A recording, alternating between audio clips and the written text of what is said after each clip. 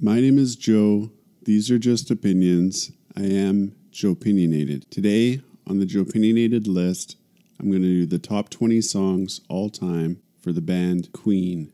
At number 20, off their debut record from 1973, I'm going with the track Doing All Right. Number 19, all time greatest Queen songs off of News of the World. It's written by Mercury. Brian May wrote We Will Rock You. This song is we Are the Champions. The number 18 song on the Joe Opinionated list for top Queen songs came from 1991, Freddie Mercury's last album, Innuendo, and the song is Show Must Go On. In 1986, Queen came out with the record called A Kind of Magic. 17 song I'm going with the title track, A Kind of Magic. In 1991, Brian May wrote the number 16 song, Headlong. In number 15, all time Joe Opinionated list comes off of 1984's album, The Works. This one's written by Brian May, and the track is Hammer to Fall. Number 14, I'm going off of this album, Hot Space. The song is a collaboration of Queen with uh, this guy David Bowie. Don't know if you've ever heard of him. Under Pressure from 1982. In 1980, Freddie Mercury wrote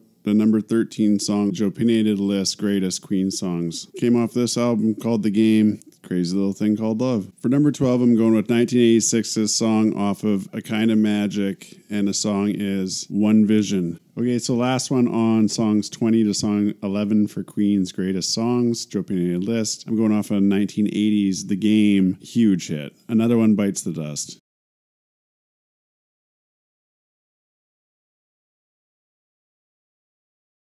Number 10 all time Queen songs, Joe Opinionated List. I'm going off of 1976's A Day at the Races, song written by Freddie Mercury, Somebody to Love. So from 1989, for song number nine, I'm going off of the album The Miracle, I Want It All. So in 1984, John Deacon wrote from the album The Works, I Want to Break Free. 19, what are we at here? 1975, off the album A Night at the Opera, I'm going with Bohemian Rhapsody.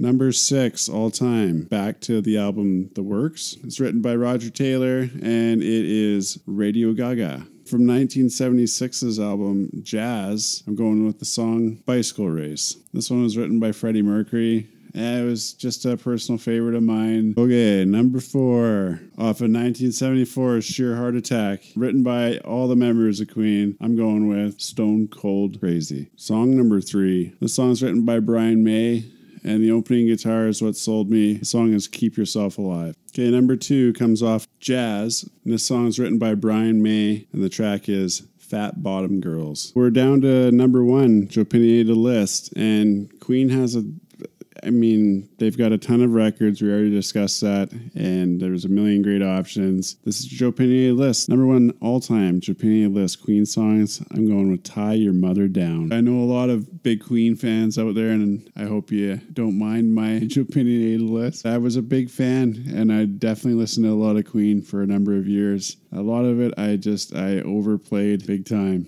Freddie Mercury goes down as one of the greatest frontmen of all time. Sorry, I'm a little low on facts and high on opinions. Big respect to Queen and rest in peace to Freddie Mercury.